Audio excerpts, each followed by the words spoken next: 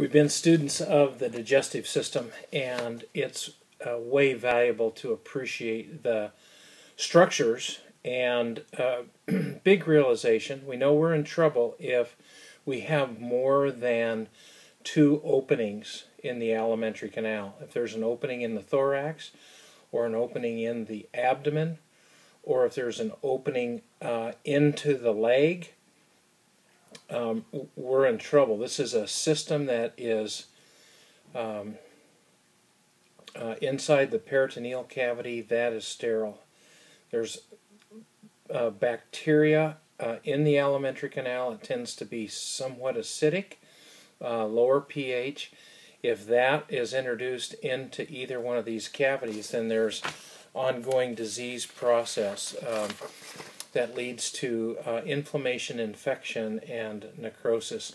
Uh, be way heads up about the definition of the acute abdomen. Here are some of the pathologies that lead to acute abdomen.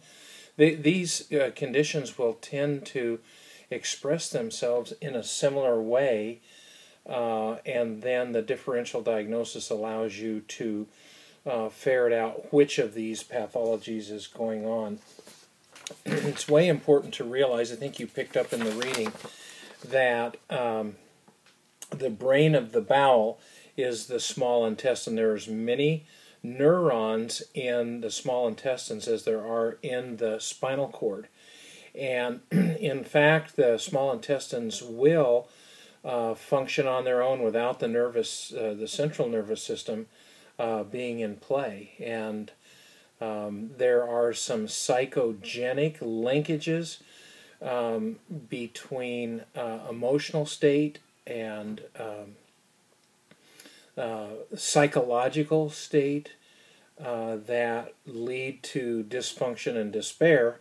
People who have irritable bowel syndrome or um, um, conditions where they're not able to control their um,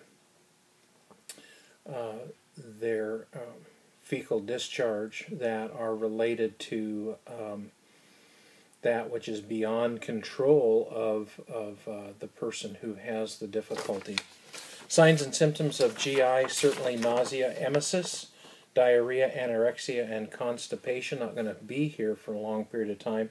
This is a place in, um, you know, if you've done some international travel, for that matter, uh, inter uh, domestic travel, domestic travel, it could very well be that you experience traveler's diarrhea because of the different foods, the time change, um, uh, spices, whatever. And here's just kind of a fun compilation of things that indicate traveler's di diarrhea, and it's kind of funny to know what some of the um, uh, euphemisms are. I've been to India, and so Delhi belly, and in the Far East, Hong Kong dog.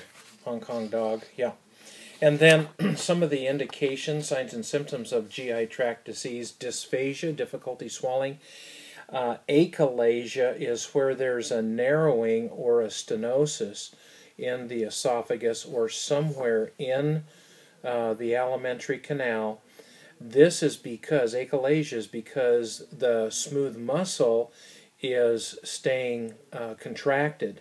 You could say uh, uh, in spasm, and it causes a narrowing. And it people who have achalasia uh, get food uh, caught. The bolus that they're passing into their digestive system gets trapped here, and it's a very disconcerting disease. It may require medication or surgical correction um, some of which are not, not way pleasant. And then uh, gastrointestinal bleeds will lead to the possibility of leading to hematemesis, which is uh, emesis is throwing up. If there's blood in it, it's, it's pronounced hematemesis. Hematemesis is going to be bright red. Melena is, well, let's go to uh, hematochezia. This is um, defecating uh, and having blood uh, in the person's stool. Uh, now, both hematemesis and uh, hematochezia are bright red. When blood is exposed to digestive enzymes, it turns dark. And so, coffee grounds emesis would be a person who throws up material that's gotten into the stomach and digestive enzymes are breaking it down. It's coffee grounds emesis. That's what it looks like. And then a person who defecates very dark, tar like, and foul smelling feces, that's called melena. That means that there's a bleed somewhere up the alimentary canal, and the expression of that is through the anus, as opposed to hematochezia. Um, the disease process could be hemorrhoid, uh, could be neoplastic. They're uh, defecating with bright red blood. That means it's not up into the alimentary canal where there's big uh, digestive enzyme uh, pool. Uh, we talked in class about hiatal hernia. There's two different kinds, but this is what I want to want you to know that the sliding hernia results in actually the stomach moving through the diaphragm. This is the demarcation between thorax and abdomen, and the stomach actually moves into the thorax. These people are very, very uncomfortable with pressure sensation and killer heartburn. And so the lower esophageal sphincter has actually uh, slid up into the esophagus. If that stays like this, this tissue is not built for these digestive enzymes, and this can be irritative, chronic inflammation, and can lead to uh, esophageal cancer. And then GERD, gastric esophageal reflux disease. This is this is where um, not a hiatal hernia, but because the lower uh, esophageal sphincter is not closing all the way, then foodstuffs and the digestive process moves up into the esophagus. And this is your buddy or your grandma or, or whomever who complains of every time I lay down, uh, especially if it's uh, close to when I've eaten, I get really bad heartburn. And the appropriate care for this is to moderate your weight. Don't eat right before you're going to uh, recline or go to bed uh, and use um, pro, uh, proton inhibitor medications like Prilosec or uh, Nexium. Uh, GERD. What I want you to know, or what we should know, is that the triggers for GERD include some of the foods that we like chocolate, peppermint, coffee, soft drinks, fatty and spicy foods. When we eat these foods, it's not a wonder that it causes GERD because it relaxes the lower esophageal sphincter and it opens and these the digestion continues up into the esophagus instead of moving toward the uh, uh, well the lower esophageal sphincter is not compartmentalizing like it should. And um, so there are some there are some other uh, uh things for you to pay attention to who's vulnerable to this that's listed for you here you're very aware that um, the uh, increased valsalva interthecal pressure can increase the impact of GERD. Okay, you, you ferret that out and, and study that.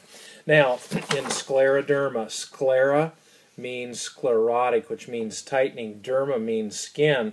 Well, here's a here's a person who has scleroderma of their hands. There's no doubt that their skin has become very tough and gone into contracture such that they're in flexion. That's their full extended position right here. Well, this same disease is not limited to just what we see, but one of the places where we're vulnerable for tissue change is in the alimentary canal, and it causes strictures or narrowing. Uh, and uh, you can see that that can preclude getting food uh, down the alimentary canal.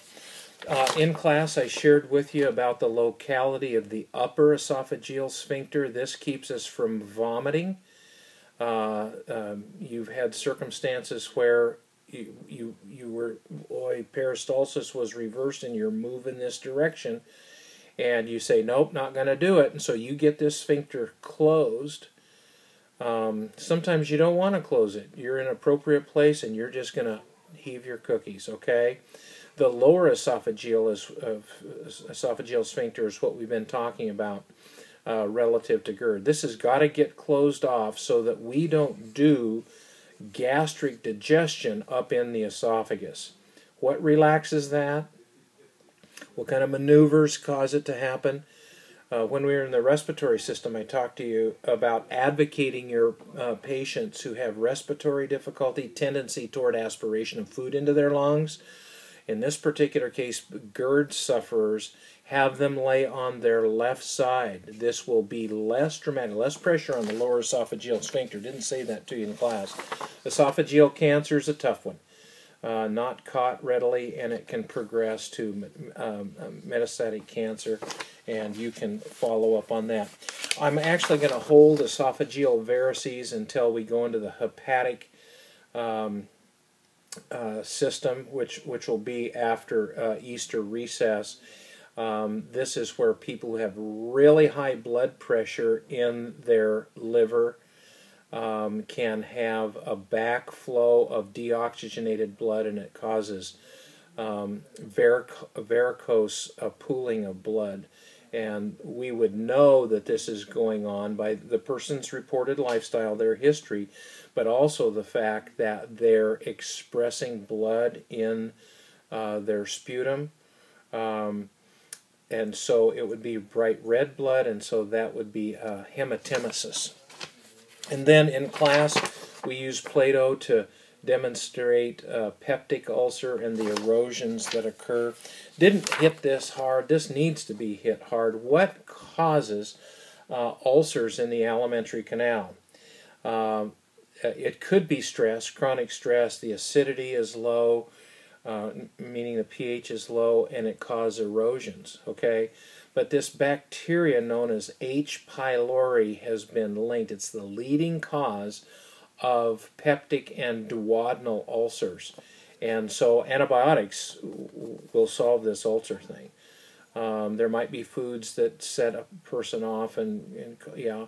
Um, if you would go to this PowerPoint, you'll be able to see an ulcer um, um as they scope the person's uh, esophagus and then down into their uh, stomach, through the stomach into the duodenum, you'll be able to spot that very white um, hypoxic portion of the duodenum that is ulcerous.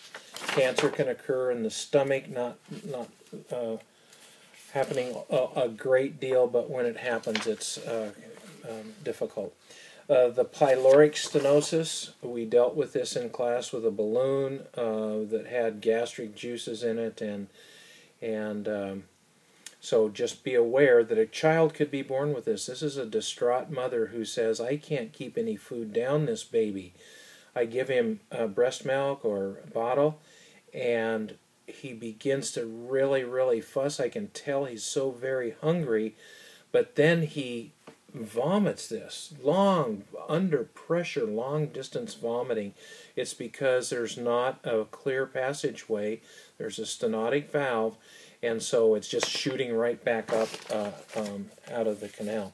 And then there are a number of uh, malabsorptive diseases. I'm going to let you consume this. This is a highlight. Um, people who can't absorb certain kinds of minerals or vitamins or nutrients uh, maybe that they lack a coenzyme or a, a, um, an enzyme and uh, or or a vitamin. Vitamin uh, B12 is critical for the absorption of certain certain foodstuffs, and that gets that's difficult for an older person. They we tend to not uh, absorb B12, and it causes malabsorption, which means we don't have enough energy to live. We talked about botulism. You acted this out as a result of the botulism uh, bacteria uh, superior uh, to inferior. The real uh, end stage of this is paralysis of the respiratory system, and um, that can lead to asphyxiation. Okay, take care.